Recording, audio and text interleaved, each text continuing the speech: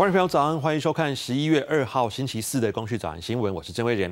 首先呢，来关心到台湾和马来西亚警方合作破获一起诈骗机房案，他们专门跨海诈骗中国人，还有海外的华人，有十九名嫌犯是台湾籍。昨天晚间，马来西亚警方先遣送十人返国，其中有四人是有案在身的通缉犯。桌上成排手机全是诈骗工具。马来西亚今年七月巡线破获一起诈骗机房，一共逮捕四十九人，包括三十人中国籍、十九人台湾籍。他们涉嫌假冒检警，跨海骗中国人及海外华人。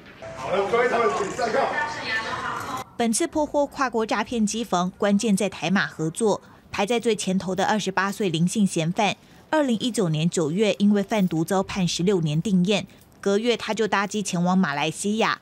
警方锁定后，将这份情资转交给马国移民署，顺利逮人。一日先遣送十名台籍嫌犯返国。这次我们提供的这些海外的通缉犯的这个资料，给马来西亚的移民总局，跟他们做情资的合作。那马来西亚的执法单位呢，也根据我们提供的情资，顺利在在在当地破获了一个呃跨国的这个诈骗的机房。十月初，南美洲秘鲁也曾经破获诈骗机房案。六名台湾人以勾心诱骗四十三名马来西亚人，关在房屋里，一天只给一餐。警方怀疑两个集团的上游可能来自同一批人。后续呢，针对这些犯罪者的这些呃犯罪结构，我们也会再持续向上溯源的去追查。从马来西亚首批遣返的九男一女，通通送往新北地检署，其中被通缉的四人后续归案。警方也将持续追查类似台版柬埔寨诈骗手法是否被复制到国外行骗。记者陈冠勋、詹淑云、朱凤志、钟建刚综合报道。根据法务部统计，电信诈欺案三年成长三点六倍。民众党团就推估，今年全年可能就有二十万件的电信诈骗，呼吁 NCC 要加强门号源头控管，跨部会查缉不法集团之外，因应假讯息的诈骗猖獗，更应该要制定专法。有民间企业日前公布一份二零二二年诈骗解析，全球通讯诈骗量突破四亿次，其中简讯诈骗占比持续创新高，逼近八成。在野党抨击，在台湾新收到电信诈欺案件，三年来也成长三点六倍，但未看到 NCC 有具体作为。数位的专法来，特别是像上架的平台，它也要涉及到刑法上面的特别的一个角色，甚至是刑责，这样它才会。觉得他也是这个呃加害或帮凶。民众党痛批 NCC 日前宣称电话号码开头加八八六拦截率高达九成以上，但检视今年一到八月新收电信诈欺案件有十五多万件，估计全年可能逼近二十万件。政府作为不够积极，而国民党立委也指出，诈骗集团利用不记名的网卡来犯罪，让追查困难。NCC 应该从源头控管，可以使用台湾地区、中国地区、台湾大哥大、中华电信，而且。根本就是挑衅，下面还要写说谢绝诈骗集团诈骗用途等犯罪行为，请勿购买。啊，不此地无银三百两吗？他没有任何的登记，所以第一个要处理的这个非实名制的部分。NCC 强调，目前针对电信诈欺，寄出请电信业者拦阻可疑门号，对国际来话增加语音警示等措施，也利用诈骗关键字以及 AI 技术分析进行简讯拦阻。今年以来，也发送出一亿两千多万则简讯，提醒民众慎防诈骗。记者徐林监台报道。关心总统大选，侯友谊、柯文哲和朱立伦三人在周日晚间密会，但对于总统的人选是依旧没有共识。侯友谊到云林提出农业政策，喊出老农不用缴健保费，提高公粮价格等。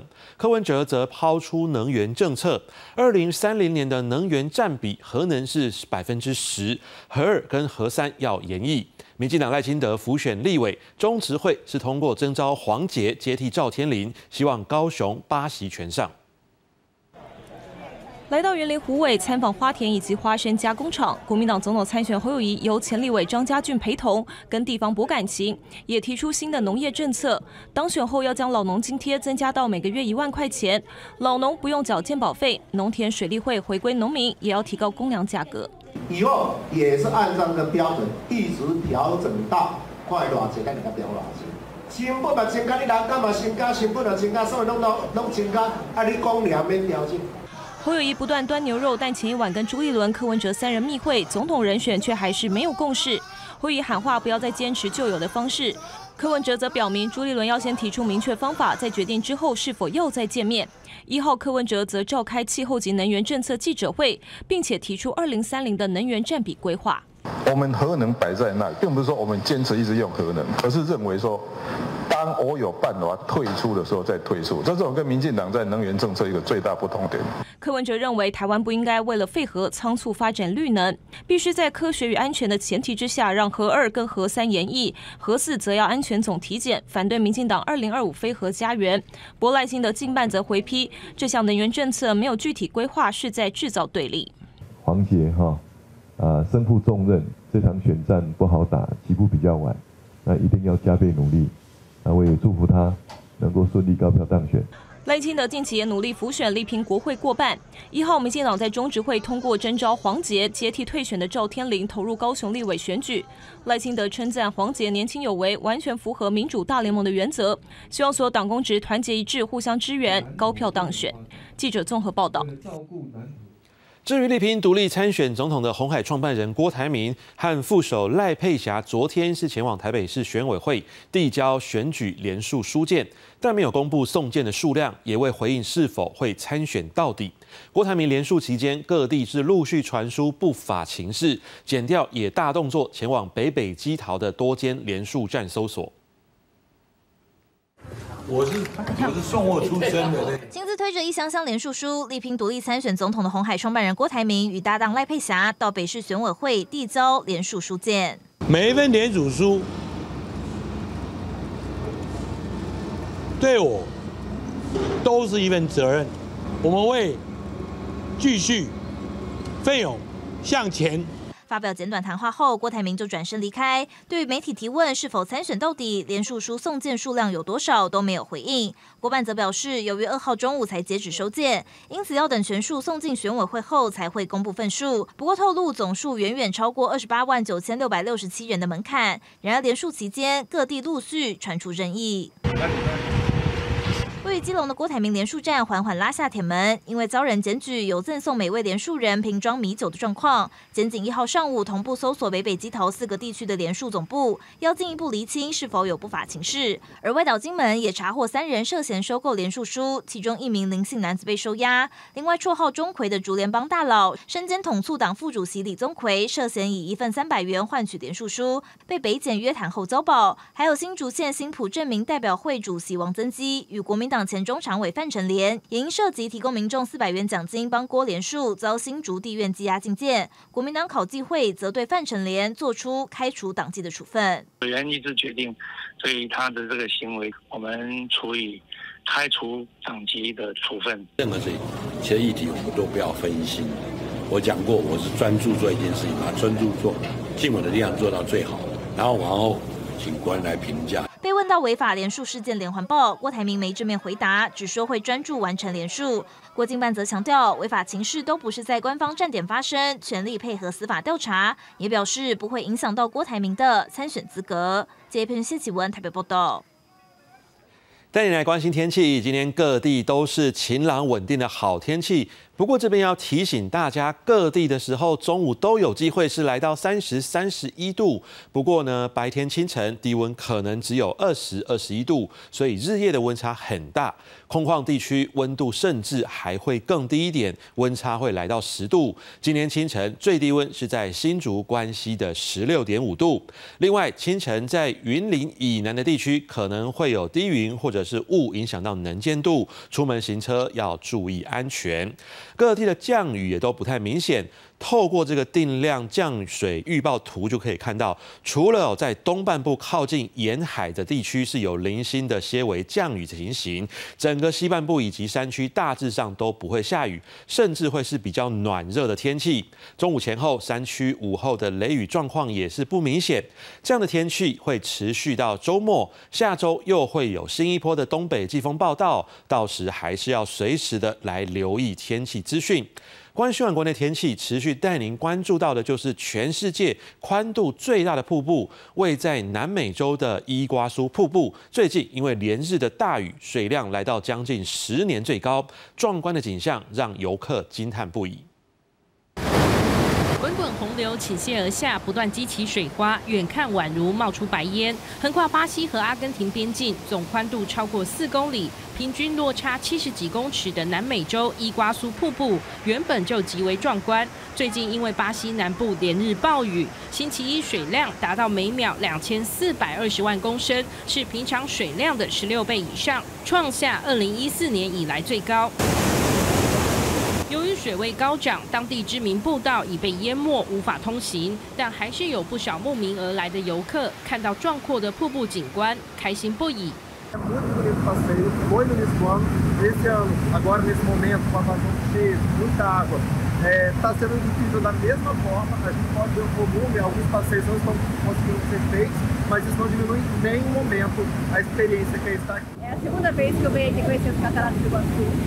primeira vez foi há 12 anos atrás,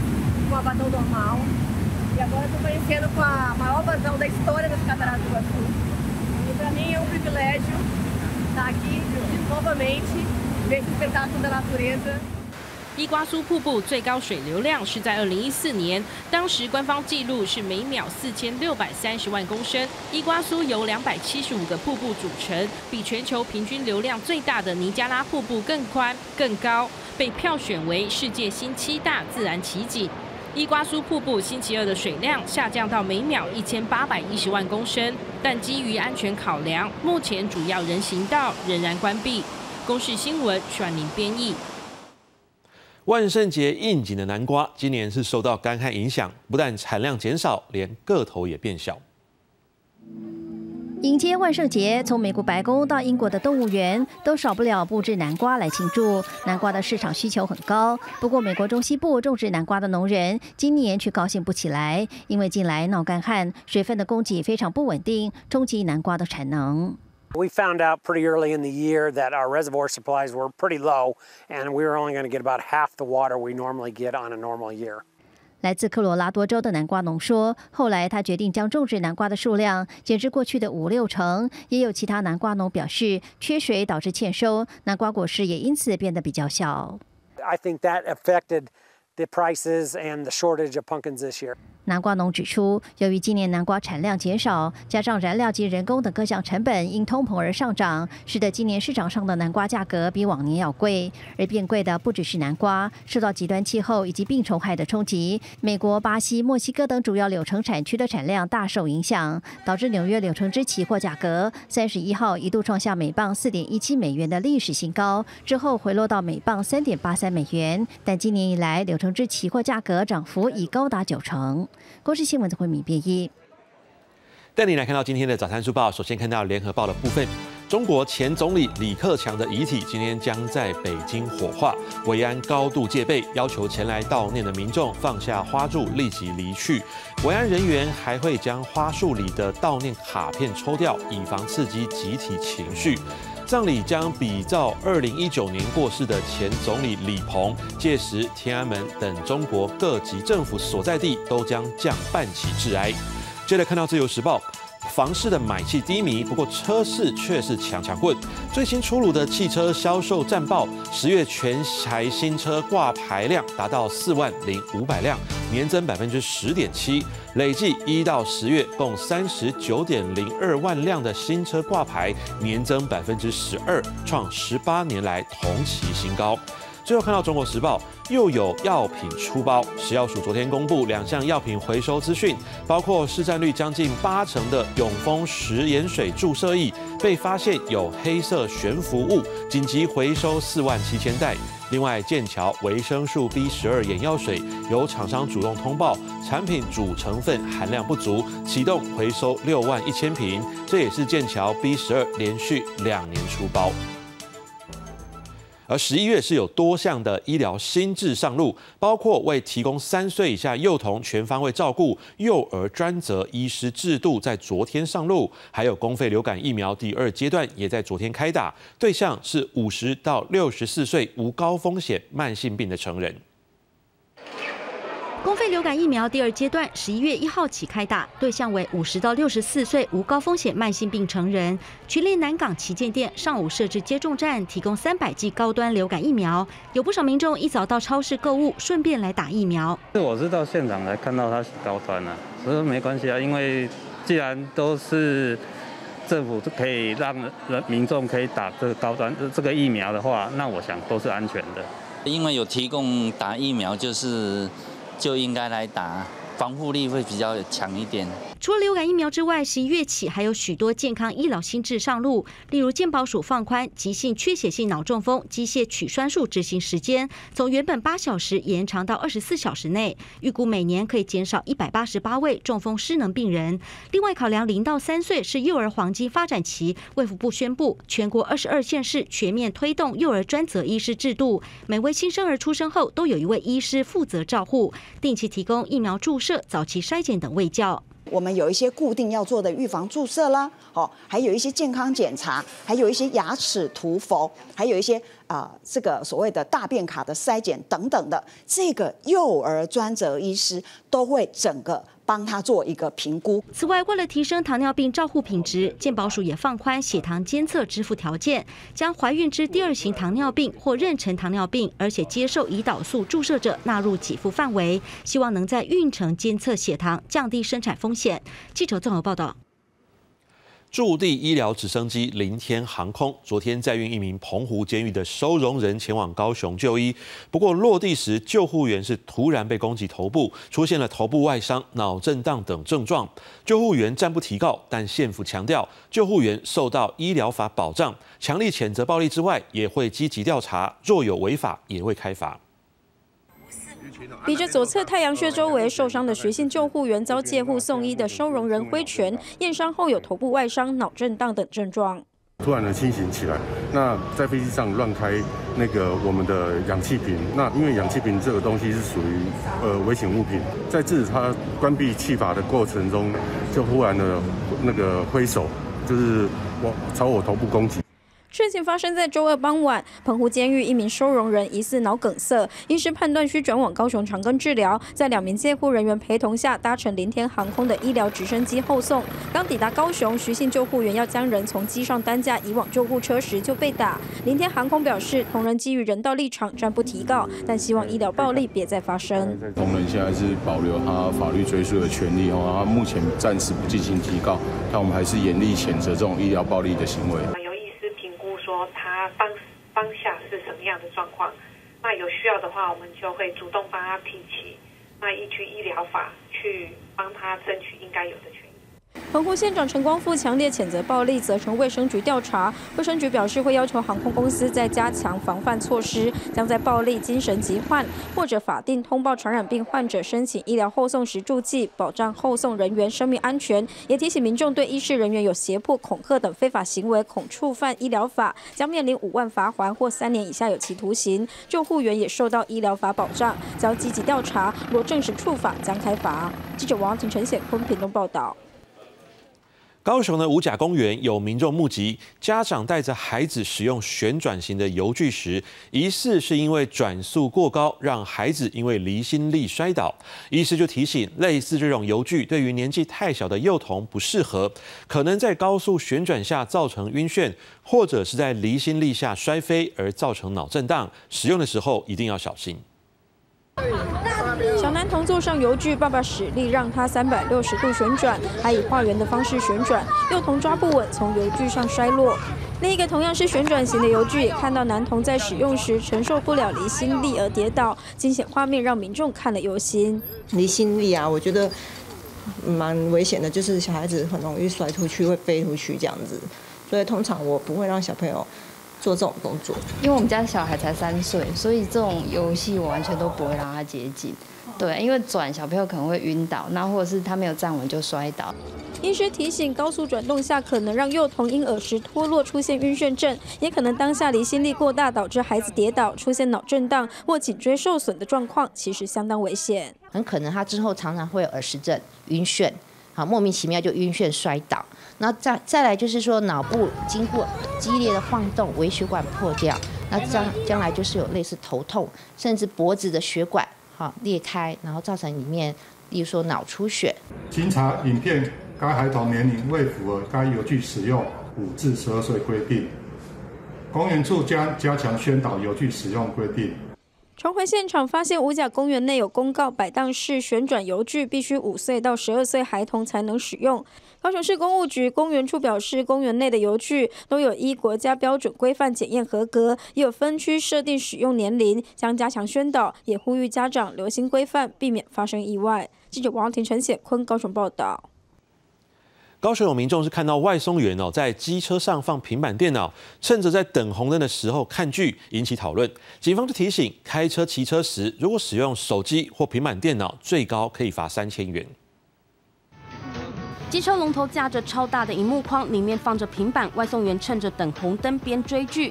同一位外送员上个月底接连两天，分别在高雄前镇跟林雅区被民众目击等红灯时追剧，被戏称是时间分配大师。但这样的行为连其他外送员都无法认同。还蛮夸张啊，因为那个平板那么大，蛮蛮突兀的。因为骑汽车这样会分心吧？当然啦，只是就他这样骑都没有遇过警察吗？就是很奇怪的事情啊！随着外送平台发达，路上或餐饮店外随处可见外送员在取餐送餐。外送员在龙头上架荧幕，无非是想趁着等餐或停等红灯时打发时间。但若骑车时操作手机或平板，容易因此分心，已违反道路交通管理处罚条例。如有以手持方式操作拨接、通话、数据通讯等行为，可依道路交通管理处罚条例第三十一条之一条规定。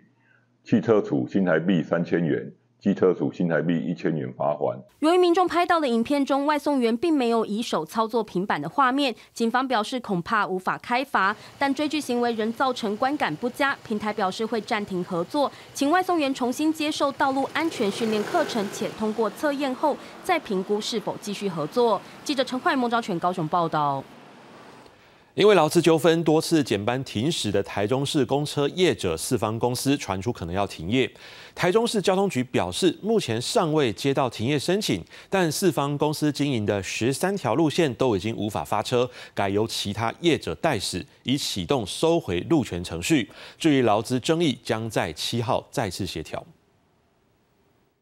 民众来到候车亭，怎么样就是等不到平常搭乘的公车。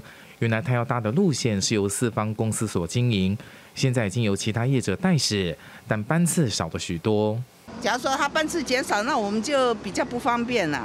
台中市公车业者四方公司因为经营不善，积欠员工薪资，引发劳资纠纷。从九月初开始，陆续无预警停驶，十月份更引发罢工。不少驾驶表示，公司将每个月的薪资分成两次发放，但却只拿到了基本薪资，另一半的绩效变动奖金一再拖延，至少一个半月没有拿到薪水，也让大部分的驾驶选择离职。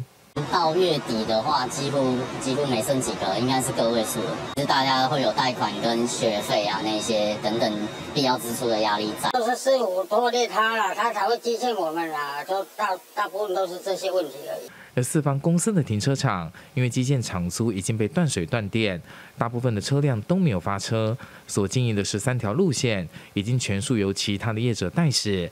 台中市府表示，目前运能大约维持五成，至今业者尚未提出停业申请，已经启动收回路权。而劳资双方也将在七号再次调解。因各业者皆面临能力不足，故需调配原有。部分原有的路线驾驶能力来支援部分运能，故目前交通局课正办理收回公车路线经营权之行政程序。台中市政府劳工局将视调解结果，提供劳方必要的协助，以保障劳工权益。台中市劳工局表示，目前有六十六人申请劳资争议调解。劳资双方初步达成共识，将进一步讨论工资和遣散费。而截至一号傍晚五点，四方公司仍没有任何对外的说明。记者林健生、王龙涛台中报道。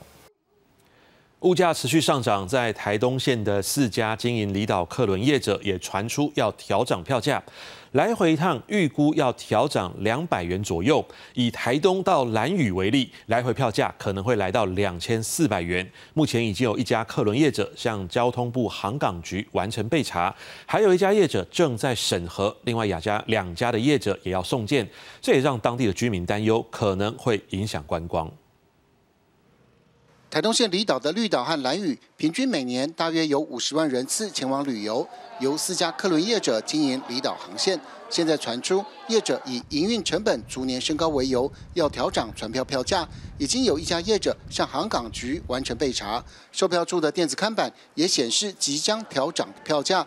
绿岛的来回票从原先的一千一百二十元要调涨到一千三百二十元，蓝屿来回票从原先的两千四百元要涨到两千八百元。当地居民和游客都不希望涨价，担心影响观光。可可能会稍微考虑一下下，但是想去还是会去啊。因为你进去绿岛，你又多花那个两百多块，那有些人就会觉得，可能他可以选择去别的地方了。现在是离岛观光淡季，业者还没有调涨，可能要等到明年。另外还有三家客轮业者也打算跟进调涨，陆续会送件到航港局审核。台东县政府表示，业者调涨票价，县府无法干涉，不过要求业者要顾及离岛居民交通权益。那影响的部分，目前我们了解起来是针对游客的部分有规划要调涨，但是对于绿岛乡亲搭乘的部分是不受影响的。县府强调，一旦票价调涨，会要求客轮业者提升服务品质，包括把目前以现金购票方式改为多元行动支付，也补助业者建造新客轮，提供游客舒适的海上交通。记者张明哲台东报道。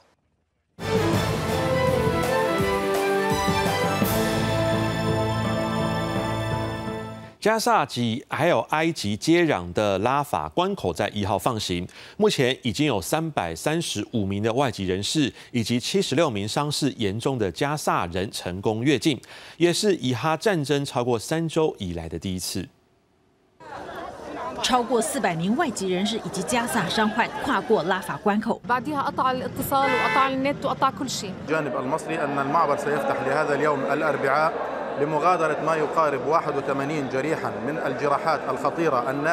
根据埃及消息人士以及一名巴勒斯坦官员的说法，这些人是在埃及、以色列跟哈马斯的斡旋下成功获准越境的第一批。一位熟悉埃及计划的外交人士表示，大约有七千五百名持外国护照人士将在两周内撤离加萨。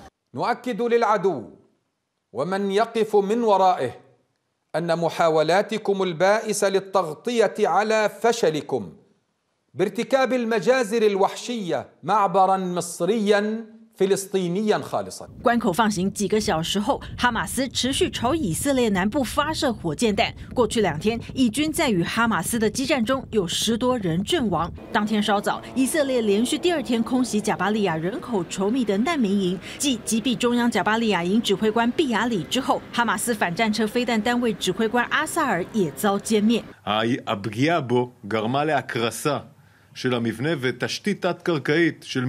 一位西方官员消息来源表示，拉法关口的撤离放行与其他议题，例如释放人质、要求以色列总理纳坦雅胡同意为人道而暂时停火等无关。美国白宫认为哈马斯未来无能治理加萨。数度走访中东的国务卿布林肯预计三号访问以色列跟约旦。公视新闻黄月冷编译。以哈冲突恐怕引爆石油危机。世界银行警告，如果这场战争扩大到周边的产油国，并且使阿拉伯的石油禁运事件重演，国际原油最高可能涨到每桶一百五十七美元，打破两千零八年七月布兰特原油创下的每桶一百四十七点五美元纪录。以色列与哈马斯持续对峙，目前看不到任何停火的迹象。世界银行发布最新大宗商品市场展望报告，警示若以色列与哈马斯的战争扩大至周边的国家，恐怕使一九七三年阿拉伯石油禁运事件重演，国际油价最高可能涨到每桶一百五十七美元。乌俄战争发生的时候，油价也是涨到最高一百二十三嘛，哈，那但是后来就回跌嘛，哈，那。它大概的影响大概都是短期的影响，实际上要回到基本面。根据 EIA 的资料，那供需呢是有一些供不应求，但是在明年啊应该会改善。学者表示，尽管以色列十月初正式对哈马斯宣战，但西德萨斯中值原油期货十月下跌百分之七点五，跌破每桶八十三美元；而布兰特原油十月份下跌了约百分之四，跌破每桶八十七美元。在近期国际油价波动较明显下，国内因为有浮动油价机制，因此认为对国内油价冲击并不大。但依据中油最新公告的航空燃油价格已经达到国内线运价调涨的门槛。因此航空公司从十一月三十号起全面调整国内线机票的价格，涨幅百分之二点七到百分之七点四不等。其中华信航空台北飞金门的航线票价从原本两千四百五十九元涨到两千六百四十一元，贵了一百八十二元。以前不用花这么多钱就可以出去玩，现在要花那么多钱，当然我我会考虑嘛。那出游是一定一定要的话，那就是从地方其他地方呃节流，然后然后尽量不要去去去乱花钱。民航局表示，从二零一四年至今，国内线共有四次的调降，三次调涨。今年九到十一月，国内航空燃油平均价格每公升二十八点零一元，已经高于国内线运价调涨门槛每公升二十七点二五元。因此，各航空公司依交通部所核定运价上下限，调涨国内线全额的票价。记者由张国良台报道。为期两天的人工智慧安全峰会一号在英国召开，一共有近百位全球各国代表与科技巨头与会。第一天的议程结束后，英美欧盟和中国等二十八国的政府代表是共同签署了布莱切利宣言，誓言强化全球合作，应应 AI 安全议题。这也是第一个针对监管 AI 的国际宣言。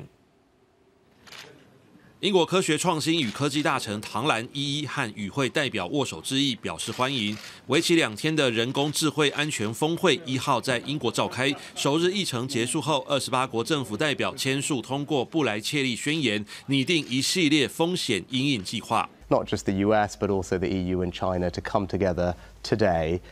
dozens of countries signing the first ever declaration of its sort, saying that we need to develop a shared understanding of the risks that frontier AI technology poses and work together to develop our understanding of them and, and then how to manage them. 美国副总统贺锦丽发表演说时，呼应总统拜登十月三十一号签署的一项行政命令，宣布美国将设立 AI 安全研究院等措施，检视 AI 系统风险。另外，中国也受邀出席峰会，派出科技部。 副部长吴朝辉跟学界与业界代表与会，引发英国政坛部分对中鹰派不满。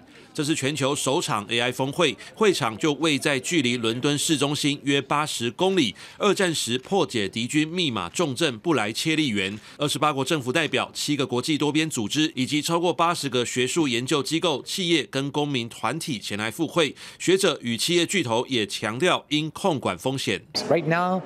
We don't know how to build an AI system that will be behaving as intended, in other words, that it, can be safe. And we don't even know how to test those systems uh, to make sure they are safe. So there's at least a third party referee, an independent referee, that can observe what leading AI companies are doing and at least uh, sound the alarm if they, if they have concerns. 虽然布莱切利宣言并未如部分英国政治人物所愿，在英国设立 AI 国际测试中心，但已替未来国际合作提供初步范本。下一场 AI 安全峰会预估半年后在南韩登场，一年后则换法国举办。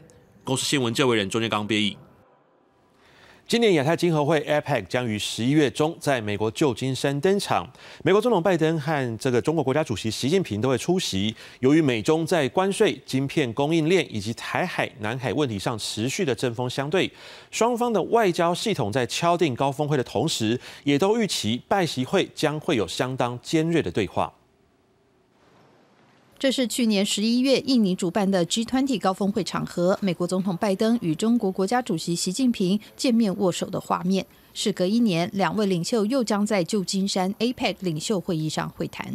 对于双方沟通的议题，中国外交部在部长王毅结束访美行程后强调，两国必须回到一年前的巴厘岛共识，进行有建设性的对话。中国外交部发言人汪文斌在三十号的记者会上重申，中国反对台湾独立，并强力要求美方遵守所谓的中美三个联合公报。通往旧金山不会是一马平川，不可能靠自动驾驶。为此，双方要切实重回巴厘岛。把两国元首的共识真正落到实处，排除干扰，克服障碍。稍晚，美国白宫发言人尚皮耶不约而同地指出，双方都预期这场峰会，两位领袖势必会激烈交锋。Our policy uh, and how we move forward with China hasn't changed. Uh, this is intense competition, right? That we have said that we want to uh, to move forward with with China. We understand that, and intense competition means uh, intense diplomacy. 面对记者询问这场峰会是否将提到美中贸易战，包括关税、晶片供应链等议题，美中双方也都没有具体提到详细的会谈内容。公日新闻徐家人编译。焦点转回到国内，台湾篮坛近期涉赌疑似假球案延烧，T1 台南台钢猎鹰发出公告，球员陈敬环涉入相关案件，虽然没有直接证据，但球团秉持最高道德原则，命陈敬环离队。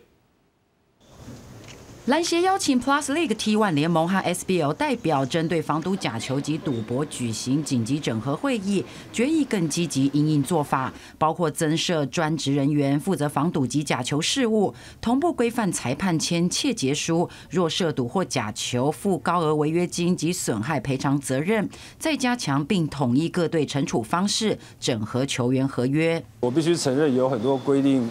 所谓的签赌跟假球没有规范的那么细，那这次的事件突然来得很快，而且影响层面很广，也趁这次教训啊，赶快明确化很多规范。还有不少细节得商讨，但张成忠强调，蓝坛因此大地震也在所不惜。而篮协会议前，T1 的台南台钢猎鹰发出公告，球员陈敬环未入球队前，在他队涉入相关案件，虽未有直接证据，秉持最高道德原则，先命他离队。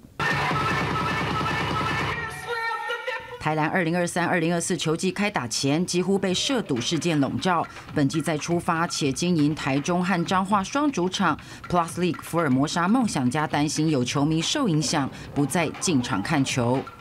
爱惜自己的羽毛啦，对啊，就是呃。就算是个人行为，就还是要去多多加注意一下。如果真的有这些人做这些事，那这些害群之马就是这一次就把它全部一次清掉嘛，那可以让这个环境更好、更干净。从看板球星到制服组，田磊希望球员们洁身自爱。总经理韩俊凯更指出，若球员犯错，就是直接开除。而现行各队和球员合约不能公开，期待联盟和篮协定出明确规范，可让球员了解这就是规则，没有例外。记者林小慧、沈志明、王新忠台北报道。台北市土方工会前理事长在任职期间涉嫌跟土资厂车队共谋，标下南港一处土石清运工程后，把北部的废土运往中南部郊区弃置，一年多来赚取将近两亿元暴利。经过检方侦办后，全案侦结，依违反废弃物处理法等罪嫌，起诉清运业者等多达六十三人。一辆辆货柜车停靠在路边，半夜不睡觉，载着满满沙石从台北一路往南跑，趁夜晚无人，偷偷把废土朝偏僻地区倒。一年多来弃置的土方高达十五万立方米。涉案人一个个被移送，连台北市土方工会都沦陷。走在最前头就是时任理事长王建祥。承揽南港一处大型工程废土清运，涉嫌指示司机在往云嘉南等地非法弃置回填。包含他在内多达六十三人，检方一号提起公诉。自一百零九年十一月起，至一百一十年一月间止，以北土南运方式非法弃土，业经侦查终结，依法将六十三名被告提起公诉，嗯并请求法院对业者等主嫌从重量刑。检方查出业者用每立方米九百元价格标的清运工程，花了一些钱疏通土资厂，叫对方假意配合，再与车队勾结运往中南部烂道，大赚黑心钱，出估。不法获利高达一点九亿元，直接用违法手段赚暴利，对环境来说更是一大伤害。这些废弃物通常就是属于事业废弃物嘛，废弃物里面可能会有一些重金属啦、有机污泥啊，那甚至说含有呃致癌物质，或是说挥发性的有机物质，这些都是会呃影响到人体的健康。随意乱倒废弃物，不仅可能会对环境造成严重破坏，环团也表示，若农地有在种植食物，民众把他吃下肚，更对食安产生冲击。记者陈冠勋、陈昌伟台北报道。一名失信帮派成员涉嫌吸收新展银行理专，共谋吸金诈骗超过四千八百万。检警日前拘提并传唤多人到案，讯后失信主嫌遭收押，科信理专获四十万元交保。新展银行是回应，这名员工已在一百零九年离职，目前全案进入检调侦查，无法评论。先先他们先上去啊，说话先上去啊。双北警力集结，除暴特警出动，大阵仗搜索，当场拘提，应门男子。头戴鸭舌帽，双手上铐移送。他是失信男子，四十岁，有帮派背景，涉嫌开公司从事非法吸金，遭到羁押禁见，更吸收银行里专外泄客户名单，专挑大户下手。投资方式就是房地产投资这样，时间到本金加利息都会回来，甚至三四百万这样，你都没有回来。三十二岁科信理专在新转服务曾获顶尖业务奖杯，开心发文分享。检警调查，从一零八年开始，他就鼓吹客户投资房地产，标榜年息二十六趴，每月固定配息，被害人初期都有领到钱。去年八月突然停止止付，已有四人见状报案，初步损失超过四千八百万。跟他接触的被害人说明说，我私底下有一个新的投资管道。那比一般市面上的定存可能好一些。这名新转理专只要成功一单就能抽成零点五趴，涉嫌配合黑帮做起坏勾当，讯后交保四十万。银行发声明强调，他在一零九年三月离职，全案进入检调侦查，目前无法评论。虽然人不在新展，但至今还在其他银行工作。销售非属银行所销售的商品，不符合银行对他的员工的行为规范，做出什么样的处分，我们还是得得同时要看情节的轻重。一旦涉案情节严重，银行局表示将会要求将人解雇。只是银行员一再爆出勾结不法集团从事犯罪，从转账额度提高，再到滥用客户名单，相关内控似乎还有进步空间。记者陈坤、陈昌伟台北报道。行政院长陈建仁日前在立法院被询时表示，核电是绿电。行政院发言人林子伦对此特地来澄清，政府对非核家园的立场未改变。核安会主委陈东阳则表示，欧盟对于绿电有严谨的定义，他认为核电不是绿电。经济部长王美花则重申，包括 R E 一百与特定供应链没有把核电视为绿电。核电是不是绿电？核电是绿电，但是台湾如果要发展核电的话呢，我们要考虑到这个核废料处理的问题。一向主张非核家园的执政党认定核电是绿电，难道立场松动了吗？陈院长话才说完，在两侧的经济部长王美花与国发会主委龚明鑫分别赶紧抢着补充说明：R E 一百的要求的绿电不包括核电。欧盟是把它定为绿电。哎，没有不是，废料要能够解决那个才是，但是现在废料还没有。我想有一些关。媒体大篇幅报道，陈院长认定核电是绿电。行政院发言人林子伦上午也火速澄清，政府对非核家园的立场从未改变，并强调核废料未有妥善的终极处置办法，尚难认定为永续能源。对此，核安主管机关核安会主委陈东阳表示，核电是低碳能源，但并非绿电。核能它是一个低碳能源，好，但是它不是绿能。好，绿能是在欧盟，它有比较严谨的定义，主要精神就是环境永续。由气候组织等发起的 R E 一百倡议与号召大型企业致力追求使用百分百再生能源。网页上明确写出核能并非绿能，所以是陈院长说错了吗？经济部在帮忙缓颊。院长就说是绿电。院长讲绿电讲的是应该呃理解是欧盟哈在讲绿色融资的部分。博政府似乎未将核能拒于千里之外，将来是否使用不会产生核废料的核融合技术？陈建仁院长表示，目前核裂解的发电方式产生核废料对台湾是很大的压力，因此对核融合乐观其成。不过核安会主委陈东阳表示，国际上核融合目前在商业运用上还不成熟。记者综合报道。疫后观光业复苏，但缺工的问题迟迟未解。旅宿业者就希望政府引进外籍移工。交通部已经将评估报告送交劳动部，初步评估至少需要三千人。劳动部长许明春表示，正在检视这个评估报告，最快十二月开会讨论。疫情过后，国内外旅游复苏，观光业用人恐急。不过，缺工问题迟迟未解。政府虽然没借中高龄就业，可是成效不如预期。旅宿业者希望政府引进外籍移工。交通部已经将评估报告送交劳动部，初步评估至少需要三千人。外界疑虑，我想不外就是专案协助的成效不佳。哈，那第二个是薪资待遇不足，选工挑工并不是缺工，排挤了哈我们。中高龄还有二度就业妇女。劳动部长许明春回应，正在检视这项评估报告是否回应外界对排挤中高龄就业等部分的疑虑。劳动部也会做性别、族群冲击影响评估后，才会开会讨论。目前他们这些服务基层的人力结构确实是不足，中高龄的二次就业，我们也做了一些方案的处理，但是这还不足的部分。我们也有叙述理由，也有一个计算的标准，哎，请劳动部呢能够参采。全台湾有那么多旅馆，你是不是有什么特别的规定指定这些人到哪些地方去，或者是说这些人到底懂不懂中文？他这些人进来，他是什么都不懂，那是不是还训练？那语文上的沟通，我觉得这还有很多的后续问题。观光署强调，评估报告是反映业者的需要，而旅宿业者虽然反映缺工严重，却也认为届时如果真的引进移工，是否能快速上工都是问题。冲击当然不只是就业的机会嘛，哈，也是对劳动条件的的冲击啊，尤其是礼数业啦，哈，就是说叫的很大声，然后好像不想要改变他的劳动条件的那样的情形啊，持续让这个产业锁在一个低薪化。劳团则认为，如果引进移工，必然排挤中高龄妇女二度就业，政府要三思而行。对此，许明春强调，会考量各项评估结果，政策小组才会开会讨论，时间最快会落在十二月或是明年一月。至于是否有新的移工来源国，许明春证实，有一国已经走完行政程序，洽谈签订备忘录，目前还不能公布。记者陈阿新、张永佳台报道。台湾和日本都有悠久的铁道文化，一共有三十二个同名车站。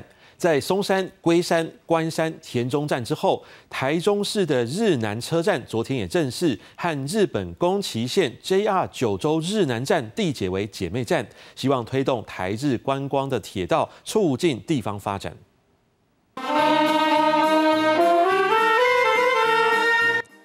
在地表演乐团演奏《快乐的出凡》这首源起于日本，在台湾也耳熟能详的歌曲，庆祝台铁局日南车站与日本 JR 九州日南站缔结为姐妹站。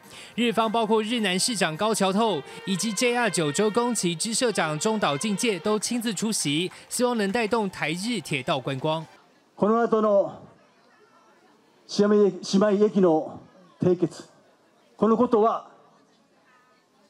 台中市と宮崎県そして日南市その距離が縮まることを私は意味するものとそう思っております。結びに、えー、台湾鉄路局の皆様の安全運行と、えー、今日ご出席ご参列の皆様の、えー、幸せを記念して呃，挨拶とします。今日はありがとうございました。日本九州日南站位于宫崎县，一九四一年开业，是知名观光列车海信、山信主要运行路线的其中一站。台铁日南车站则位于台中市大甲区，一九二二年落成启用，独特的木造建筑保存良好，被列为市定古迹。而这也是台日铁道三十二个同名车站里，继松山、龟山、关山、田中站之后，第五个缔结的姐妹站。 它的特色呢，就是沿着海岸线有一些观光列车的开行。那将来我们也会学习他们在观光列车退站的一个经验，来做我们在推到铁铁道观光旅游的这个一个努力的一个方向。台铁表示，缔结姐妹站不仅可促进台日铁道文化交流，还能促进地方发展。由于日南站也位于中部海线地区，未来不排除仿效 JR 九州，打造海线观光列车，吸引更多游客到访。记者明峰、彭焕群，台中报道。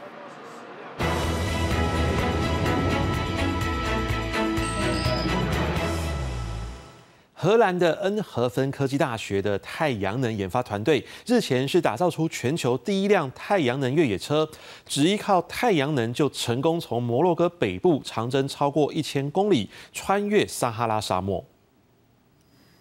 流线造型的马卡龙绿色车辆奔驰在沙漠中，这是荷兰恩弗亨科技大学的太阳能研究团队打造全球第一辆以太阳能驱动的电动越野车。车辆的所有供电不用到充电站充电，以有序的方式依靠车顶的太阳能板自给自足。这次试驾将尝试穿越撒哈拉沙漠，行走一千公里不断电。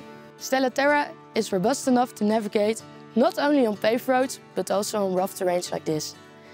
On a sunny day, Stella Terra can drive 630 kilometers, is road legal, and has a top speed of 135 kilometers per hour and only weighs 1200 kilograms.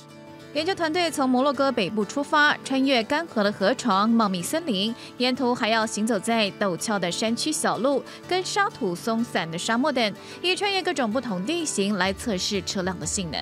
We tested Stella Terra extensively. We started in the north of Morocco and we drove over a thousand kilometers through various landscape to finish our journey in the Sahara. all powered by the sun。这辆越野车座位只有两人座，已经能够合法上路。晴天时，车辆续航里程超过六百三十公里；一旦切换到越野模式，要行走在崎岖不平的道路时，续航里程则约为五百五十公里。而试验的过程中，研究团队还惊喜地发现，为车辆量身定做的电能转换器转化太阳能的效率比预期的高，让车辆消耗的能源比预期节省百分之三十。不过试车的中途，转向操纵杆一度损坏，需要更换。Some parts needed some adjustments, but overall, Stella Terra performed above expectations on and off the road. With Stella Terra, we want to demonstrate what's possible towards a sustainable future. We want to inspire companies, students, everyone. 研究团队认为，要打造能够应对各种地形的节能汽车相当困难，还要再把太阳能板嵌入汽车中，目前更没有见过。而在未来的五到十年，预计电动车将在全球能源网络系统扮演重要的角色，期盼能够借着领先市场的研发与创新，改变未来。各位新闻陈顺编译。接着，我们一起来关心今天各地详细的天气预报资料。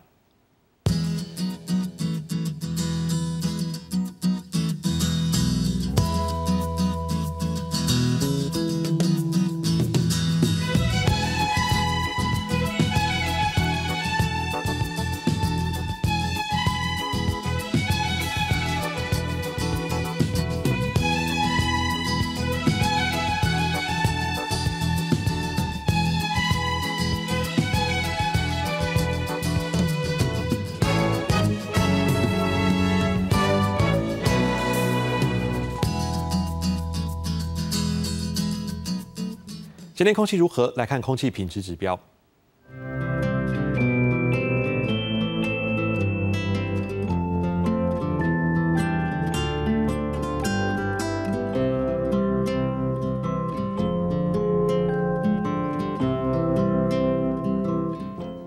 感谢您收看这集的《公司早安新闻》，我是郑卫仁，我们明天同一时间再会。